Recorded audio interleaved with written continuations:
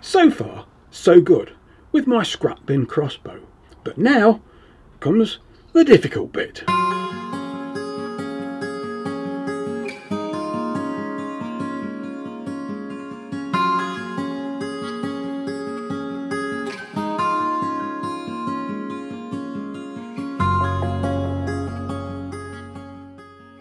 Now it's often said one of the great merits of a crossbow, as compared to say an English longbow, is the crossbow's relative ease of use. And it's true, you could master a crossbow far sooner than you could master a heavy yew warbow. But when it comes to comparing the making of these two iconic weapons, there is no doubt that the longbow, the English warbow, is far far easier to make than a crossbow.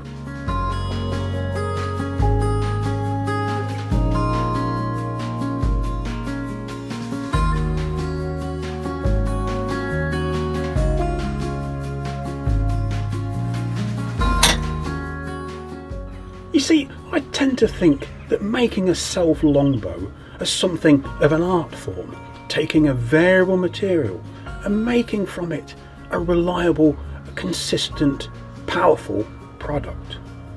But making a crossbow is a lot different. It calls upon new skills, engineering skills, and that's the stage I'm at now. And it's all new to me.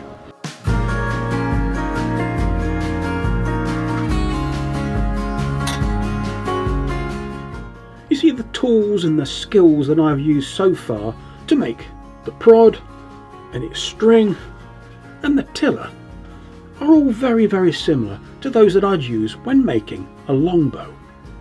But now comes something completely new. Now you'll perhaps remember this, it's my first ever crossbow, and this one worked by releasing the string by means of a push peg here. But this, my second crossbow, will have a rather more sophisticated way of holding the string and releasing it. This one will use one of these. It's called a roll nut and it retains the string and holds it against a trigger lever until released. You can see it sketched on the side of the tiller here. Now the roller nut is traditionally made from bone or antler. I've got neither, so I'll be using this a synthetic material called Delrin. So this is the first roll nut that I've ever made and it represents the very heart of this design of crossbow. I'm going to show you how I made this prototype using this, a new blank of 25mm diameter Delrin. So this is the basic design of the roll nut. This is the spindle hole around which it all revolves. In this cup is caught the string when the bow is braced. The tickler is resting on this ledge here, preventing the nut from rolling anti-clockwise because of the force applied by the drawn bowstring. When the tickler lever is released, going in that direction, the nut rolls forward, allowing the string to be released.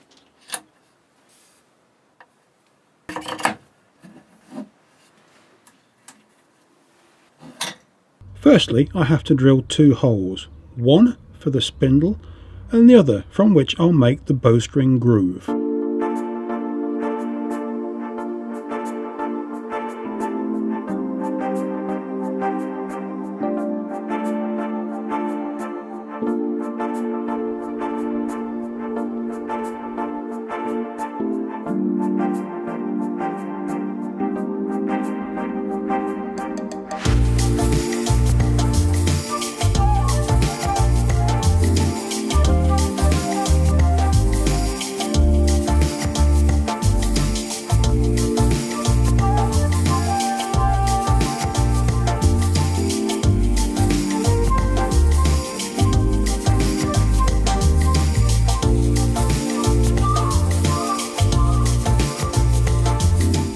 This is the final roll nut. This is the prototype.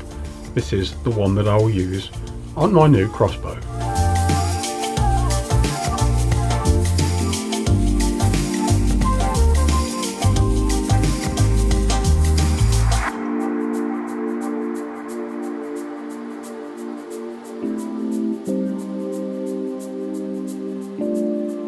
This part of the roll nut is subject to great wear from the tickler. So inside the roll nut I'm going to insert a tiny little sliver of a broken hacksaw blade to prevent that wear.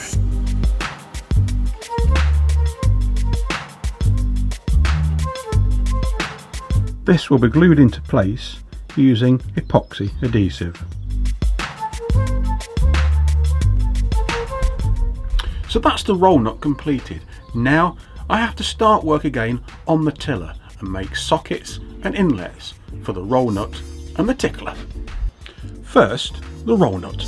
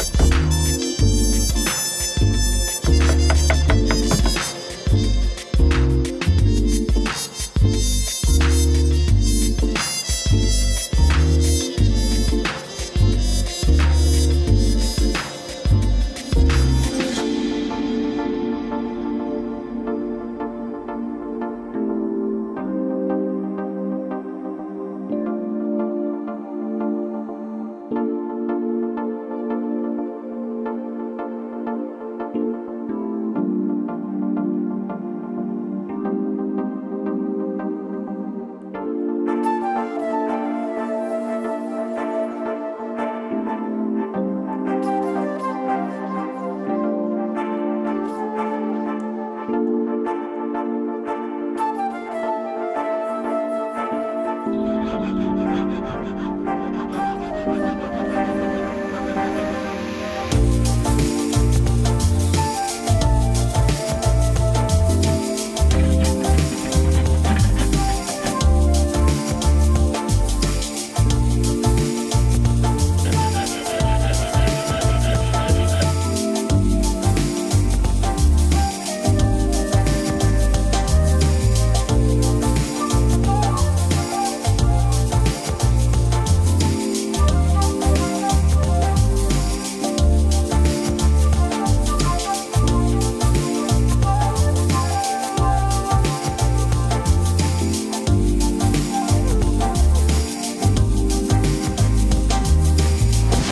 So that's the roll nut and its socket inserted into the tiller.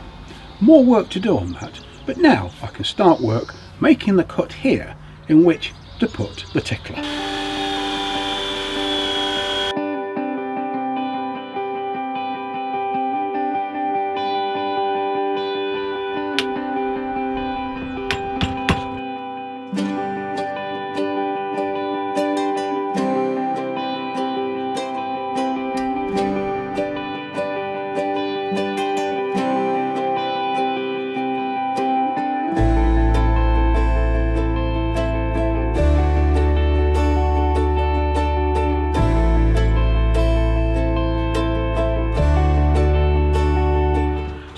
More work done on my scrap bin crossbow. More progress next time. I'll see you then.